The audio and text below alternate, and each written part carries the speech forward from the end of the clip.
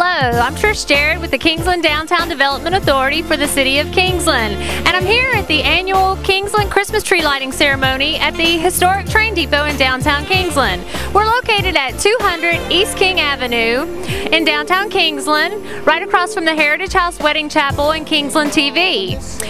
Well, I guess you can hear behind me the snow blowing machine is getting all fired up and as far as I know, we're the only event in southeast Georgia, at least in Camden County, that we actually have snow um, for our Christmas event. So it's going to be real live here in a little bit. We're going to have a snow slide area for the kids, and then we're going to have a smaller play area for the for the smaller children.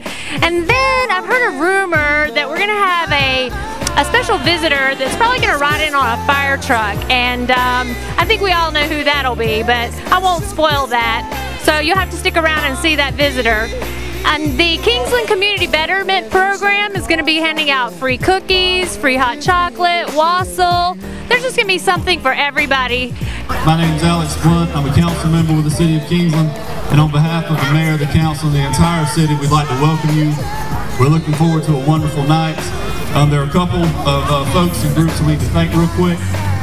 The Camden County Community Band, missionaries from the Church of Jesus Christ of Latter-day Saints, Boy Scout Troop number 208, choir from the Sub Base Chapel. Obviously, the event hosts are the Kingsland Community Betterment Program, the City of Kingsland. We especially want to thank all the Public Works folks. And uh, again, thank you all for, for coming out, and we wish all of you a, a wonderful Christmas and holiday season. Thank y'all.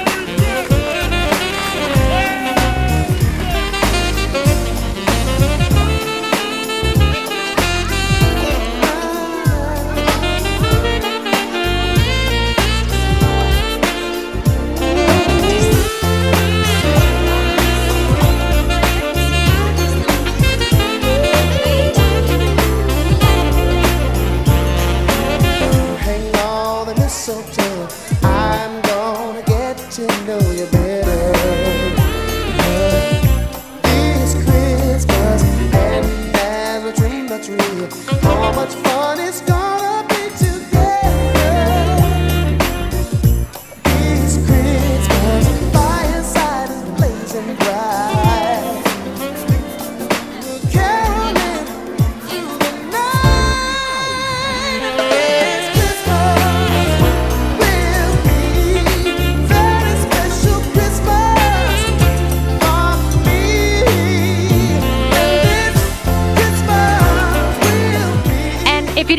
this year, it's always on the first Thursday in December. So make sure you make plans to see us next year. Thank you.